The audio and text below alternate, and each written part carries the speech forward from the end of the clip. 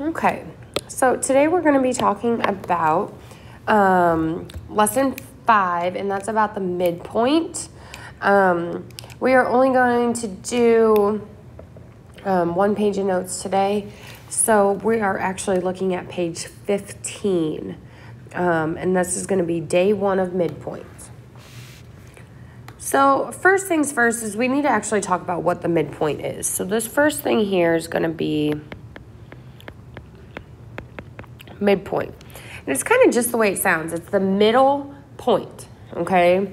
So a point that divides a segment into two equal parts. So if we had this line segment for what we see, if we had this line segment and we label this A, B, so we'd say line segment AB, um, it says, well, I'm sorry, let's not label that AB.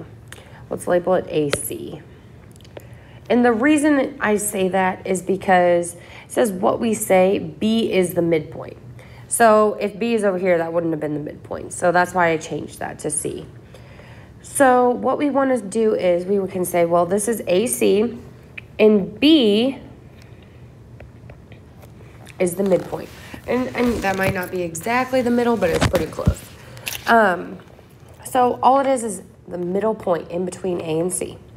So if B is the midpoint, so AB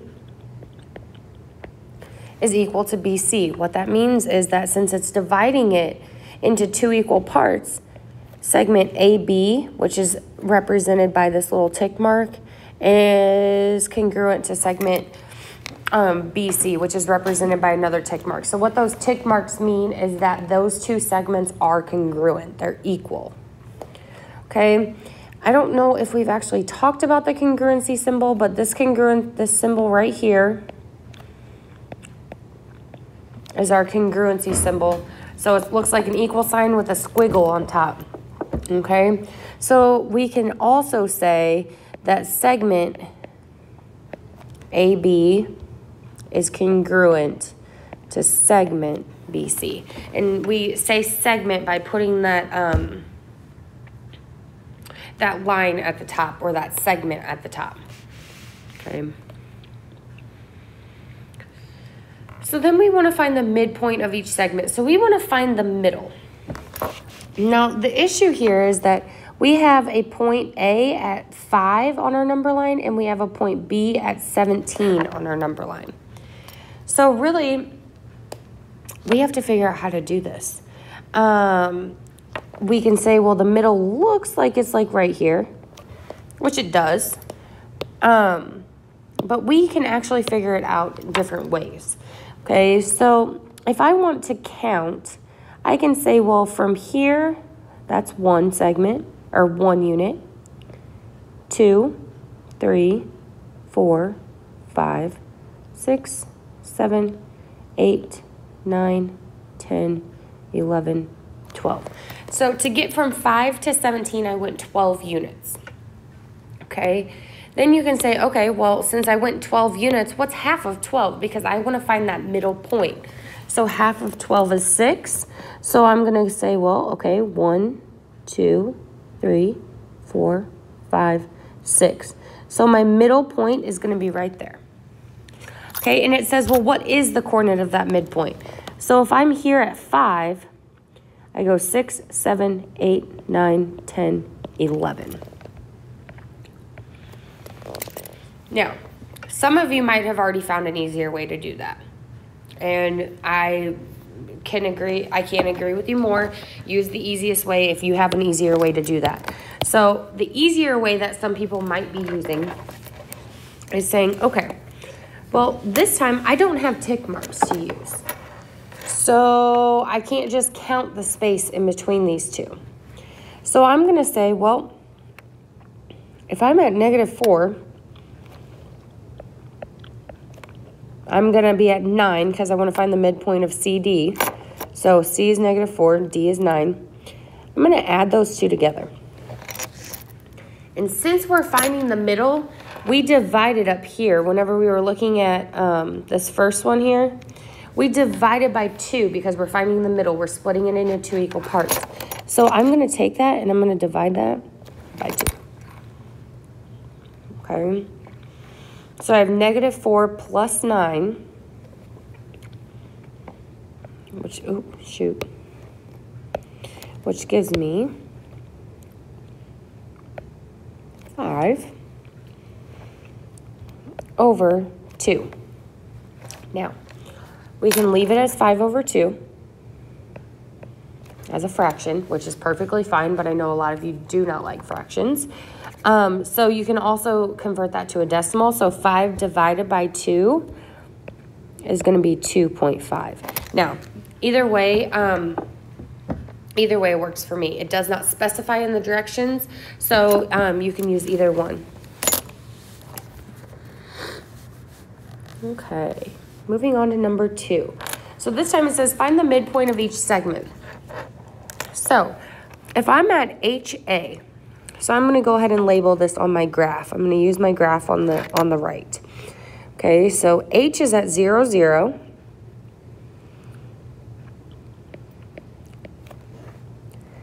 And A is at 6, 0.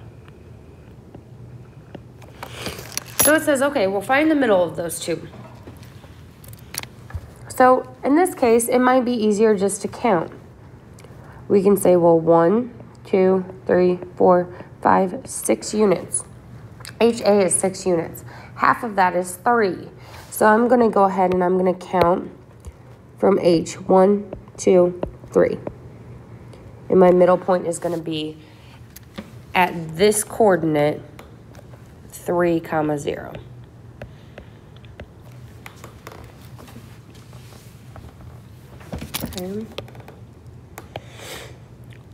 Then it says, well, for part B, we want to find the midpoint of HP. So H is still at 0, 0. P this time is at 0, comma 4. Okay. I'm going to count the units in between H and P. We have one, two, three, four units.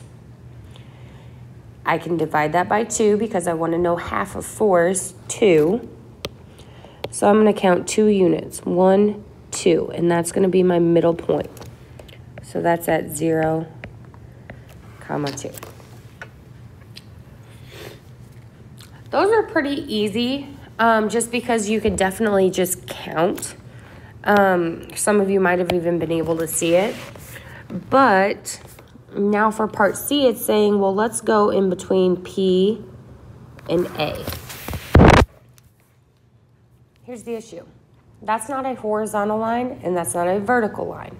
So we can guess that the middle is going to be somewhere around here, but we don't know that for sure. Okay? So there's actually a formula that we can use to find midpoint. So I'm going to go ahead and skip down here to the midpoint formula and write this in. Our midpoint formula is x1 plus x2, all of that over 2. And then your next coordinate is y1 plus y2, all of that over 2. Okay, so we're going to use that formula so that we're not just guessing that the middle's right there. We're not just hoping that's correct. Okay, because we can't really count. We can't say, well, that's one unit. We don't really know that then that's another unit. We don't really know that, okay? So I'm going to label my points A and P, and I'm going to say, well, our x coordinate always comes first, so I'm going to say x1, and our y coordinate comes second, so y1.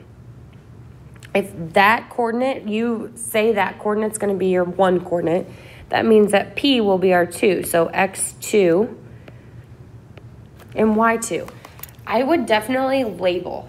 Um, I think labeling creates a, um, it makes your work more organized, and that way you know exactly what you're plugging in where. So again, I just said what you're plugging in where because all you're doing now is plugging in numbers. So x1 goes in the x1 position. So we have 6 plus our x2 which is 0. All of that over 2. And then we also have our y1 plus our y2. All of that over 2. So this is going to end up being our coordinate. So we can say 6 plus 0 is 6 over 2. And 0 plus 4 is 4 over 2. This can definitely be simplified, so we would want you to simplify it here.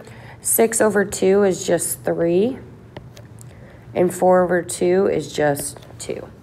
So our midpoint is 3 comma 2, which is actually where I put my point, surprisingly.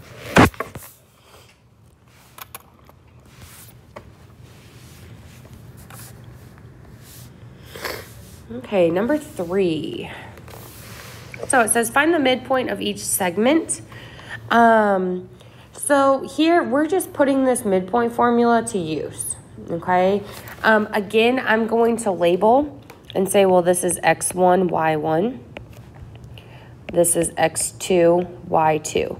Now, if I labeled my points like this, that's perfectly fine. If you switched these and made um, A x2, y2, and B x1, y1, that is perfectly fine. You will still get the same answer. As long as you're staying consistent, as long as if this is x1, this has to be y1. It can't be y2. So I'm going to say, well, x1 plus x2, so x1 plus x2, all of that over 2. Then we have y1 plus y2, all of that over 2. So I can say, well, 2 plus a negative 5 is actually negative 3 over 2. 3 plus 11 is 14 over 2. Okay, this can also be simplified. Negative 3 halves does not reduce any further, so I'm just going to leave that as negative 3 halves. Um, but 14 over 2 does reduce to 7. So this right here is going to be my midpoint. Negative 3 halves, comma 7.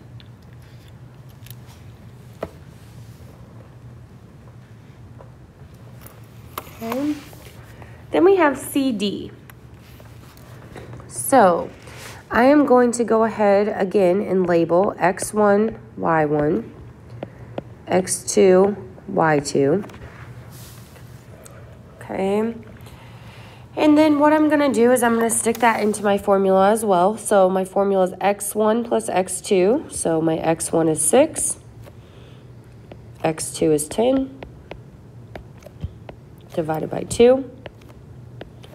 Then I have my y1 plus y2 over 2.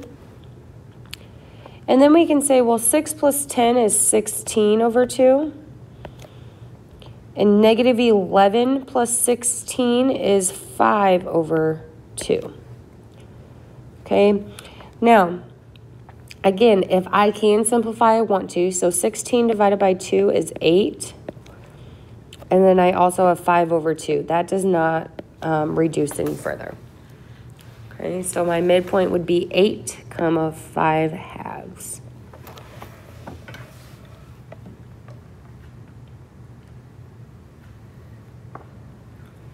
Okay.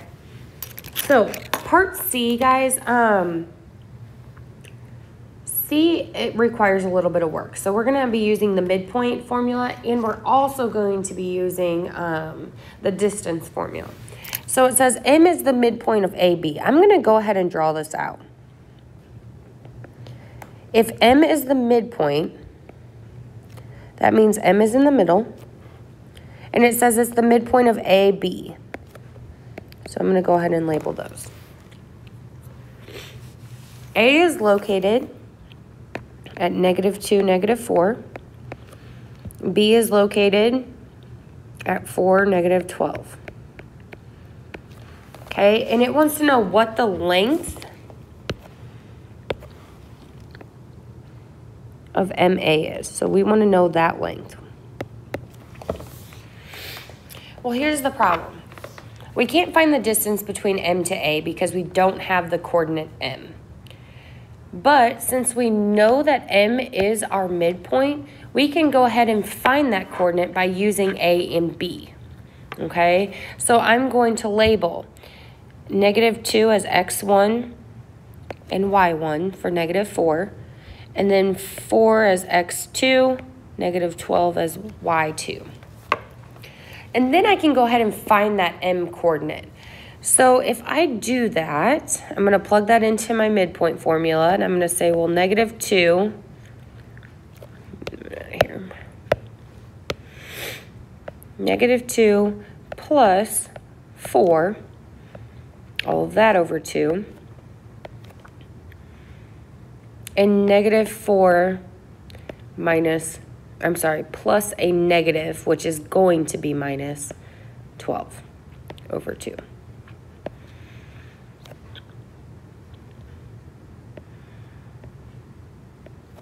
Okay. Um, so then we can say, well, negative 2 plus 4, that's 2 over 2. And negative 4 plus a negative 12. So really that's like saying negative 4 minus 12.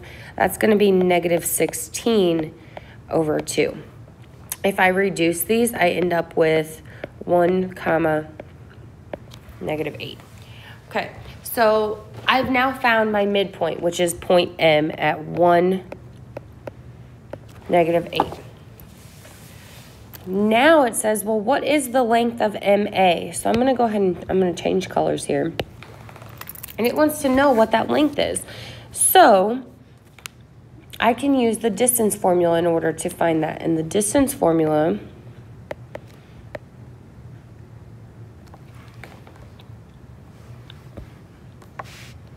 is x2 minus x1, all of that squared, plus y2 minus y1, that quantity squared. Okay, so I need to use a and M to find my MA, my the length of MA.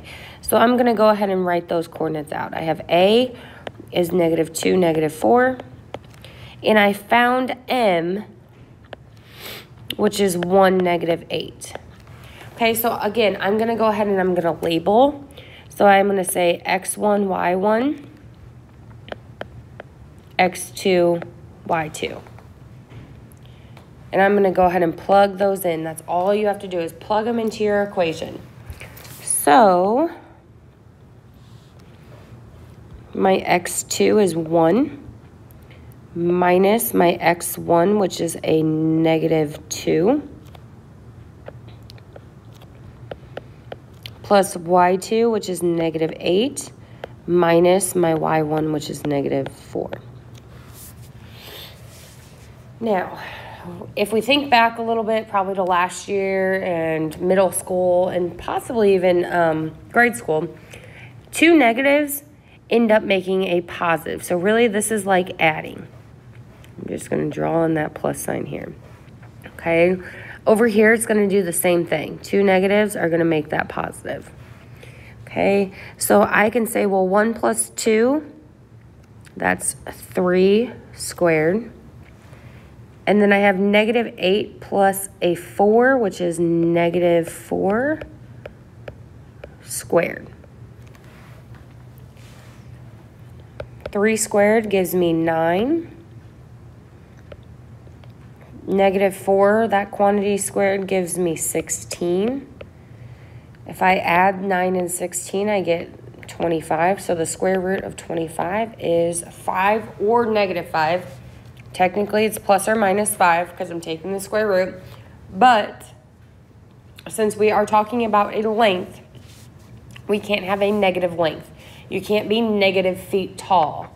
Um, so we are just going to use the positive. So we're going to say, I'm sorry, not x.